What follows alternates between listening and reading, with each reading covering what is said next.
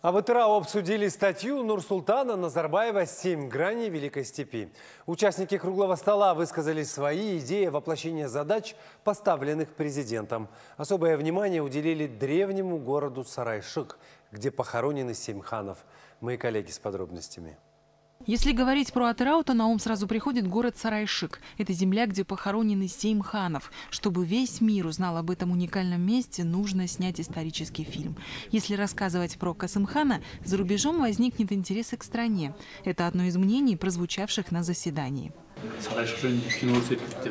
Говорят, что снимут фильм про Сарайшик. Главное, чтобы актеры, которые будут играть в этом кино, хорошо знали нашу культуру, историю, быт и национальное самосознание. Во время обсуждения статьи главы государства историками, учеными и общественными деятелями звучали мнения, что труд президента – это готовый сценарий для работы. Историк Жумабай Доспанов говорит, что статью «Семь граней Великой степи» народ встретил душевно.